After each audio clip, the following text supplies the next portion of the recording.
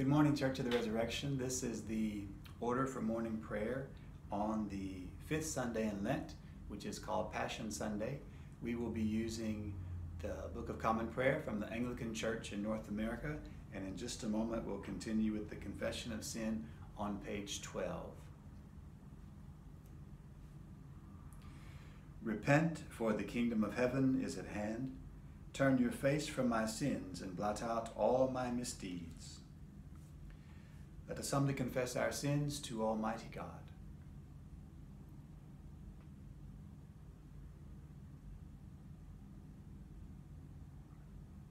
Saying, Almighty and most merciful Father, we have erred and strayed from your ways like lost sheep. We have followed too much the devices and desires of our own hearts. We have offended against your holy laws. We have left undone those things which we ought to have done, and we have done those things which we ought not to have done. And apart from your grace, there is no help in us. O Lord, have mercy upon us. Spare all those who confess their faults. Restore all those who are penitent, according to your promises declared to all people in Christ Jesus our Lord. And grant, O most merciful Father, for his sake, that we may now live a godly, righteous, and sober life to the glory of your holy name. Amen. The Almighty and merciful Lord grant you absolution and remission of all your sins, true repentance, amendment of life, and the grace and consolation of his Holy Spirit. Amen. O Lord, open our lips, and our mouth shall proclaim your praise. O God, make speed to save us. O Lord, make haste to help us. Glory be to the Father, and to the Son, and to the Holy Spirit, as it was in the beginning, is now, and ever shall be, world without end. Amen. Praise the Lord. The Lord's name be praised. Continuing with the Venite on page 14. O come, let us sing unto the Lord. Let us heartily rejoice in the strength of our salvation. Let us come before his presence with thanksgiving, and show ourselves glad in him with psalms. For the Lord is a great God, and a great King above all gods. In his hand are all the depths of the earth, and the heights of the hills are his also. The sea is his, for he made it, and his hands prepared the dry land. O come, let us worship and fall down, and kneel before the Lord our Maker. For he is our God, and we are the people of his pasture and the sheep of his hand. Today, if you will hear his voice, harden not your hearts, as in the provocation, and as in the day of temptation in the wilderness, when your fathers tested me and put me to the proof, though they had seen my works. Forty years long was I grieved with this generation, and said, It is a people that err in their hearts, for they have not known my ways of whom I swore in my wrath that they should not enter into my rest. The psalm appointed for this morning is Psalm 130. It's found on page 446. Page 446. Psalm 130. Out of the deep have I called unto you, O Lord. Lord, hear my voice.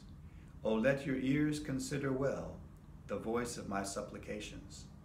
If you, Lord, were to mark what is done amiss, O Lord, who could abide it? For there is mercy with you, therefore you shall be feared. I wait for the Lord, my soul waits for him. In his word is my trust. My soul waits for the Lord, more than watchmen for the morning, more than watchmen for the morning. O Israel, trust in the Lord, for with the Lord there is mercy, and with him is plenteous redemption. And he shall redeem Israel from all their sins. Glory be to the Father, and to the Son, and to the Holy Spirit, as it was in the beginning, is now, and ever shall be, world without end. Amen.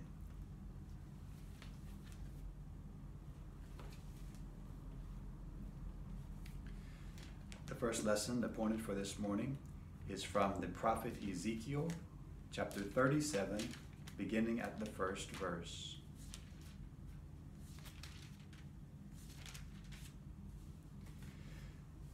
The hand of the Lord was upon me, and he brought me out in the spirit of the Lord and set me down in the middle of the valley. It was full of bones. And he led me around them, and behold, there were very many on the surface of the valley, and behold, they were very dry. And he said to me, Son of man, can these bones live? And I answered, O Lord God, you know. Then he said to me, Prophesy over these bones, and say to them, O dry bones, hear the word of the Lord. Thus says the Lord God to these bones Behold, I will cause breath to enter you, and you shall live. And I will lay sinews upon you, and will cause flesh to come upon you, and cover you with skin, and put breath in you, and you shall live, and you shall know that I am the Lord. So I prophesied as I was commanded. As I prophesied, there was a sound, and behold, a rattling, and the bones came together, bone to its bone. And I looked, and behold, there were sinews on them, and flesh had come upon them, and skin had covered them, but there was no breath in them. Then he said to me, Prophesy to the breath, prophesy, Son of Man, and say to the breath, Thus says the Lord God, Come from the four winds, O breath, and breathe on these slain, that they may live. So I prophesied as he commanded me, and the breath came into them, and they lived, and stood on their feet, an exceedingly great army. Then he said to me, Son of man, these bones are the whole house of Israel. Behold, they say, Our bones are dried up, and our hope is lost. We are indeed cut off. Therefore prophesy, and say to them, Thus says the Lord God, Behold, I will open your graves, and raise you from your graves, O my people, and I will bring you into the land of Israel.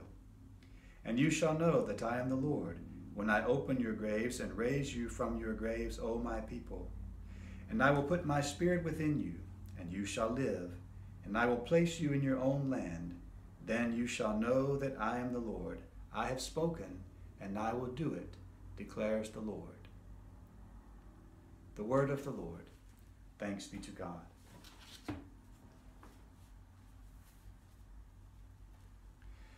Let us respond by saying the Te Deum, which begins on page 17. We praise you, O God. We acclaim you as Lord. All creation worships you, the Father everlasting. To you, all angels, all the powers of heaven, the cherubim and seraphim sing in endless praise Holy, holy, holy, Lord God of power and might. Heaven and earth are full of your glory. The glorious company of apostles praise you. The noble fellowship of prophets praise you. The white robed army of martyrs praise you. Throughout the world, the holy church acclaims you. Father of majesty unbounded, your true and only Son, worthy of all praise, and the Holy Spirit, advocate and guide. You, Christ, are the King of glory, the eternal Son of the Father. When you took our flesh to set us free, you humbly chose the Virgin's womb. You overcame the sting of death and opened the kingdom of heaven to all believers. You are seated at God's right hand in glory. We believe that you will come to be our judge. Come then, Lord, and help your people, bought with the price of your own blood and bring us with your saints to glory everlasting. Save your people, Lord, and bless your inheritance. Govern and uphold them now and always. Day by day we bless you. We praise your name forever and ever.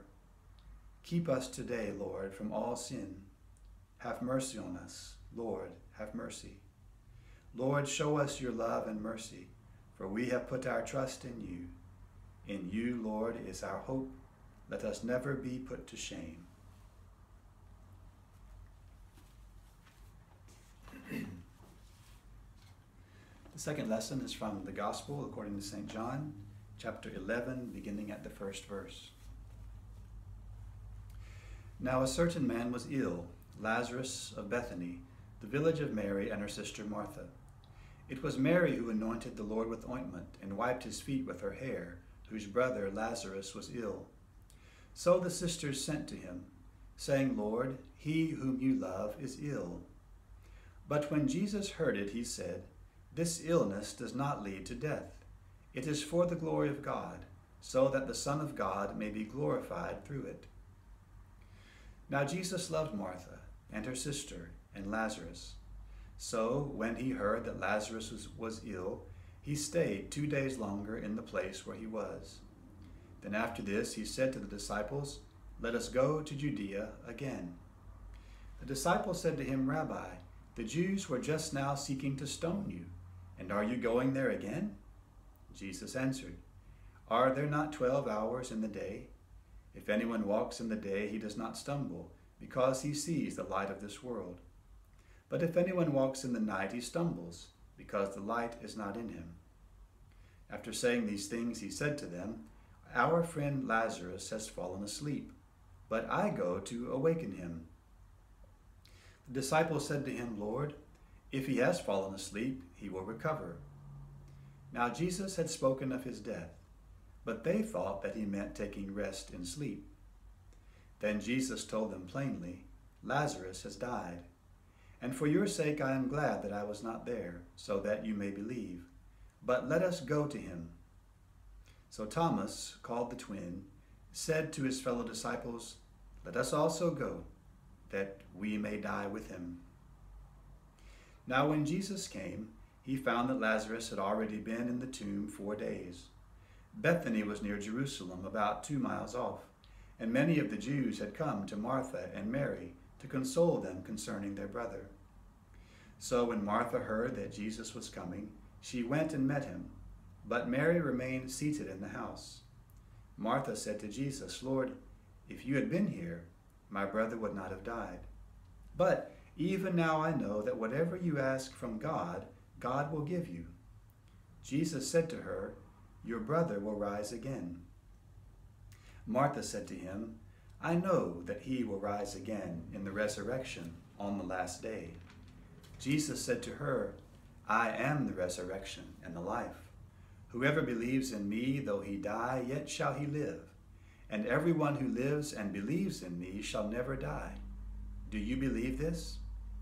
She said to him, Yes, Lord. I believe that you are the Christ, the Son of God, who is coming into the world. When she had said this, she went and called her sister, Mary, saying in private, The teacher is here and is calling for you. And when she heard it, she rose quickly and went to him. Now Jesus had not yet come into the village, but was still in the place where Martha had met him. When the Jews who were with her in the house, consoling her, saw Mary rise quickly and go out, they followed her, supposing that she was going to the tomb to weep there. Now when Mary came to where Jesus was and saw him, she fell at his feet, saying to him, Lord, if you had been here, my brother would not have died. When Jesus saw her weeping, and the Jews who had come with her also weeping, he was deeply moved in his spirit and greatly troubled.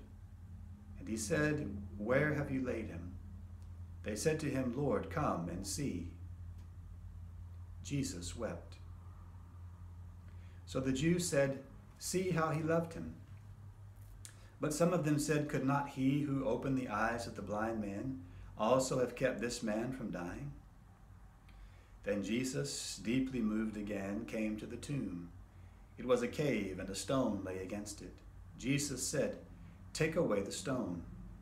Martha, the sister of the dead man, said to him, Lord, by this time there will be an odor, for he has been dead four days. Jesus said to her, did I not tell you that if you believed, you would see the glory of God? So they took away the stone. And Jesus lifted up his eyes and said, Father, I thank you that you have heard me. I knew that you always hear me, but I said this on account of the people standing around, that they may believe that you sent me. When he had said these things, he cried out with a loud voice, Lazarus, come out! The man who had died came out his hands and feet bound with linen strips, and his face wrapped with a cloth. Jesus said to them, Unbind him and let him go. The word of the Lord. Thanks be to God.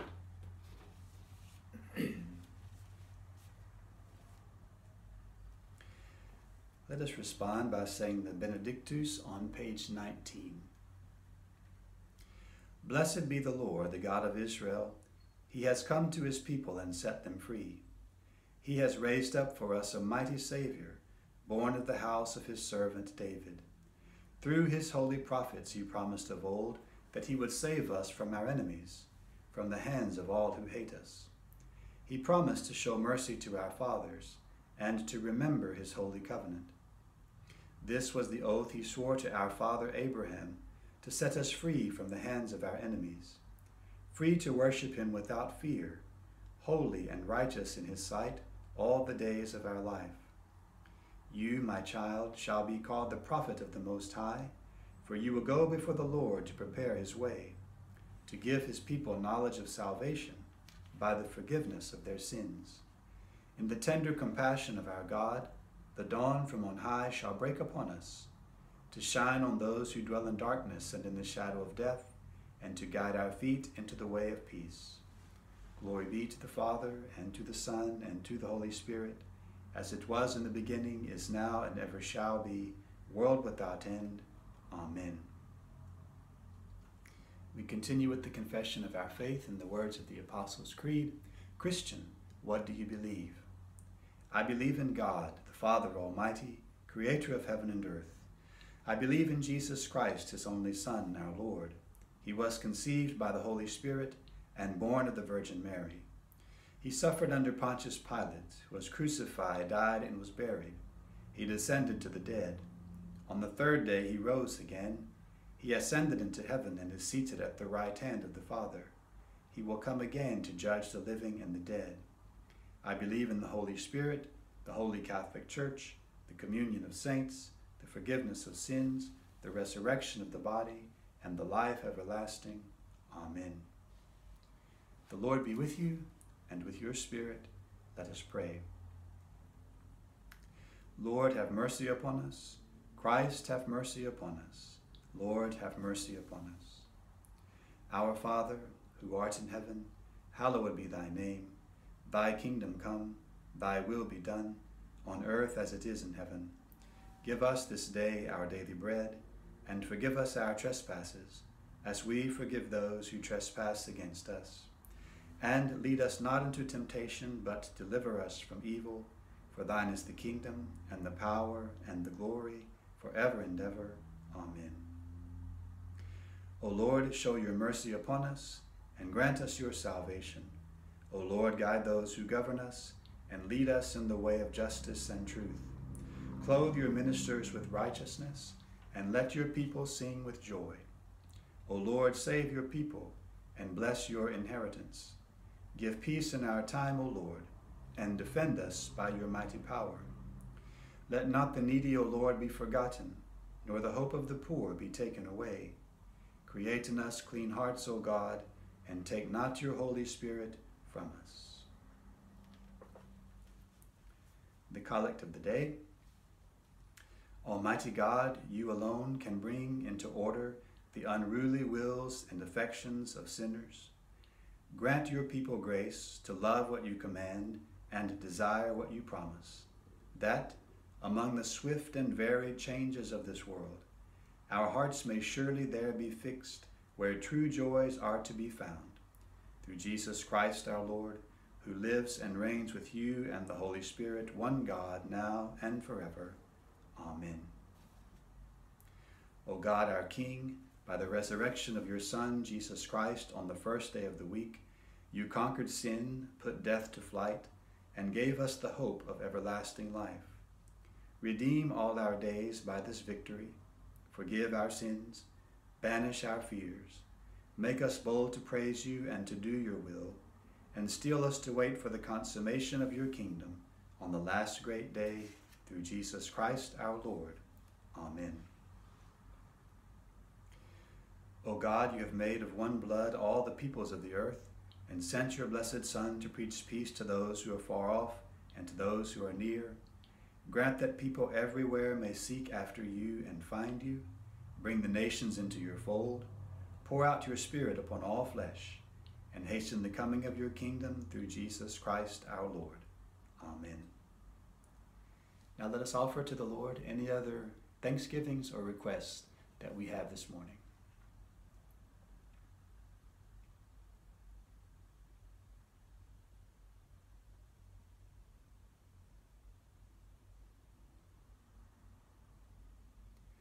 Father, we thank you for your presence with us, for your sustaining us. We pray that you would grant repentance to us, to your church, to our nation. We ask that you would stop the spread of the virus, that you would heal those who are sick, that you would strengthen those who are ministering to them, that you would give skill to those who are working on vaccines and cures, and that you would give wisdom to our leaders. Through Christ our Lord. Amen.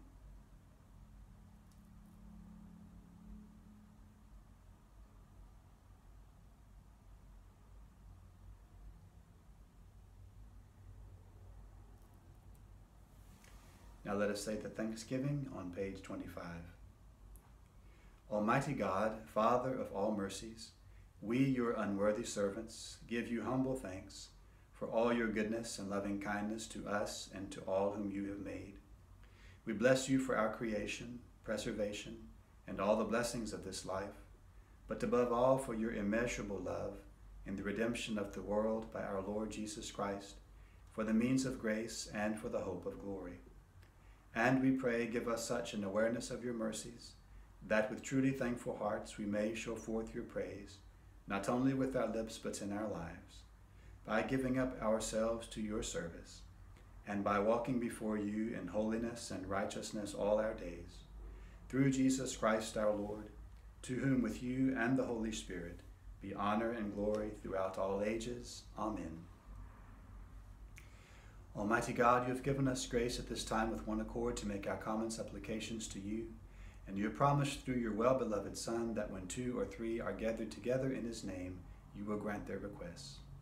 Fulfill now, O Lord, our desires and petitions as may be best for us, granting us in this world knowledge of your truth, and in the age to come life everlasting.